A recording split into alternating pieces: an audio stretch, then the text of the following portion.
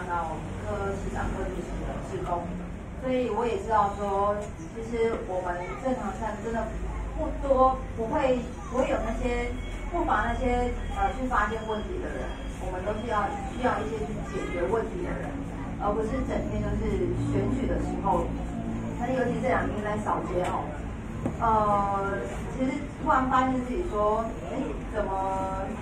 以前我们看到那种传统，就是不断的在撒钱啊，或者是制作很多很多的广告啊，那个是真的是很伤本。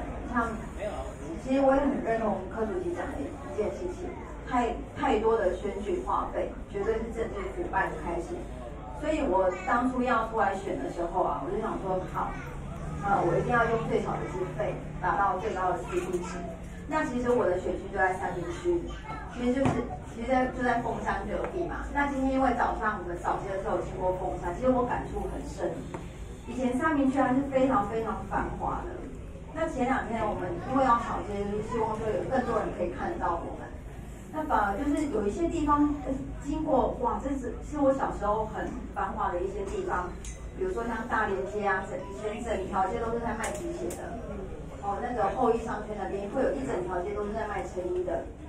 一整条街都是在卖电脑商品的，那些街现现在都已经很没落了，所以我也还蛮不可思议的说，就是为什么以前在这么市中心的地方呢，在呃呃陈局市长他就治理高雄这么久，那也只是越越搞越糟糕这样子，那所以像其实我的对手啊，就是李坤哲，呃。他就是陈局的外甥嘛，这大家都知道，所以我也很想问问看，他说到底高雄的负债三千亿，不要先不要说陈局是他的亲戚还是谁，你光是在中央那么久的时间，你为什么没有把高雄这个负债问题好好的给监督好？因为省预算也是立委的工作之一嘛，确实就是没有做好。那另外一位大哥就是哦，黄国林黄大哥，有一次我跟他碰面，他跟我说。呃，他要怎么去推动这个科丁科丁的一些他的一些想法？比如说呃智慧教学啊这些。好，他他跟我他突然跟我聊起来，那我也想说，他一直在推这个东西，那为什么还是推不动呢？是因为呃是绿的在执政的关系吗？所以卡他的这些呃建议还是什么之类的？那所以呃我们我在上面一个很特别的地方就是。以前就只有两个人，我是蓝就是绿。那今年也很特别，就我是第三个。所以我想呢，也也刚好让呃我们三明区的这些，如果说你已经讨厌蓝啊蓝的，现在是微瓜的些，就是直接到中央去了嘛，都打算到中央去了。不管是市长也好，那我的对手黄国林黄议员也好，那你打算他已经是第二任要挑战立委这样子。那绿的呢，就是很很明显的，就是把我们高雄市给越越整治越后退的啦。那我们看不到像台北这么好的一个经验会在高雄发生，我看不到。所以这也是我这次为什么要突然参选的一个很大的一个动机，就是因为我很认同，我以前没有参加过任何的政党，但是因为没有一个任何的政党可以让我认同。那所以柯主席他成立这个民众党的时候，我们也很。开心，终于有这样的一个党，那可以是我们非常务实的要去解决这些问题，而不是整天就是在那边骂来骂去的啦，抹黑你啊，或者是泼脏水，泼看或者谁比较脏，然后我们是选一个比较不烂的人出来，那我觉得这样子每次都说下一任呃让我试试看，呃再给我四年什么之类的这些话，我就讲这些话都没有用。那如果说我这一次再给你四年的话，请问一下你前四年为什么做不好？我想问的是这个问题，所以我想我们呃，师宴也是，我们大概也认识有两三个月了，对。那一开始认识的时候，我也是觉得，哦，那这样一个女孩子想要出来为为凤山这个地方服务，我觉得也是很勇敢。那这些呢，我们这些第三势力啊，都只是想要让呃人民有看到另外一种选择，叫做希望。要另外一种选择，叫做抛开我们抛开蓝绿。抛开统独，我们只讲是非对错。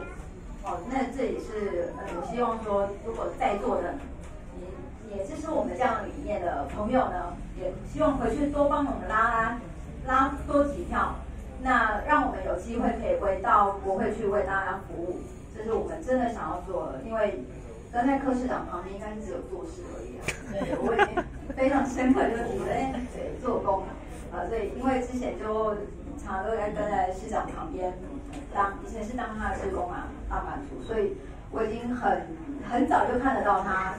做事认真的这一面，所以我也才会这么勇敢，想要这次代表民众党出来，在三明区这么听说过很绿的地方，但其实每走一一次、两次、三次过后，也慢慢真的发现有越来越多人认同这样的年轻人，这样的政党出来做事情是对的，对，所以我希望大家可以认同我们的理念，然后跟我们一起坚持下去。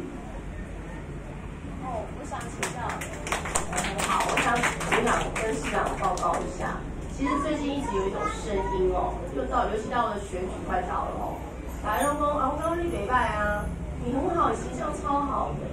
可是我觉得你可能不会想，所以我觉得我不应该把票给你。我最近常听到这种声音，你们有你们有听到吗？就是说他觉得你很好，但是可能你这是因为你对手。人家在任很久了嘛，或什么都，或者都是投篮率，所以他会觉得说你的票就是到最后会归队，哦，所以他也不愿意投下他的那一票，因为他觉得好像是有点浪费的。那市长怎么看？这也是个笑话。人家说台湾政治上最大党是哪党？西瓜党。对。不是民进党，也不是国民党，这就是看脑度跟那个支持度常常会产生巨大落差。所以说我最近在研究的那个蔡英文跟韩国瑜比较那种做出来的差多少，这是西瓜效应。所以不管它英文叫 small ball effect 还是 slippery effect，滑坡效应或滚雪球效应，这的确是一个中国台湾政治上有个叫西瓜效应。那特别是哦，单一选区两票制会加重这种情形。那我们那个第七次修宪以后。就是在一个小选区里面只有一个出来，他常常被逼迫他只剩两票。那你想看嘛，国民党跟民进党什么时候合作过？竟然可以变成修宪，这就是修在东西是对他们两个有利，对其他都不利，完全不会合作。这也是目前我们宪政上的缺点。所以像以色列哦，以色列的国会议员选举，他只有部区，他没有区。以色列好像好像六十席的。那个他全部都不去，就是就是每个政党要排那个议员的顺序，他就是直接投不去，那就是按照按照这样子。所以以色列就比较容易有那种多元性，或者是在国会会有小党。所以目前的宪政体制之下，的确会出现这个问题。那你说怎么突破？我倒觉得这样的很难，并不表示不可能。所以是在在在在当中去寻找，或或常常是这样的哦，有柯文哲一次，韩国一次，台湾好像什么都可能。对，两个已经这两个都已经是奇迹创造者了。台北怎么可能会？二零一四怎么可能？二零一八高雄怎么可能？已经两次了，所以所以所以如果这样想的话，就是他有困难度，但是我就是。努力的去做，因为既然既然已经有人成功过，还是有机会。然后，其实我我我其实我很好笑，我自己做了一个看板，一个手举牌，然后我觉得嘉玲跟我那个我现在也可以想一下，乱投票才是浪费，请坚定给新人机会。我觉得真的乱投票才是浪费啊。我们两个也是用。对啊，我觉得你们应该也要用一下，因为我觉得到了最后一个礼拜最恐怖，因为大家会整个上市理事他会归队。很多人会，他最后他现在都支持你哦，支持你到最后想算算算，我还是投给原本那个。所以这个一定要像洗脑似的，一直 repeat repeat repeat 给那些民众，我觉得。所以我觉得你们可以弄一下。谢谢。大家讲话。好啊好啊，还有谁想要跟市长交流一下？大家有想有什么问题想问市长？有没有人想要跟我们这个科批科市长互动交流一下的？哎，我们那个工协的大哥，工协的大哥大，工协大哥，他是超超级蓝哦。来，要跟我要跟科比讲一下。他现在很支持我。这个是我们。然后讲一下吗？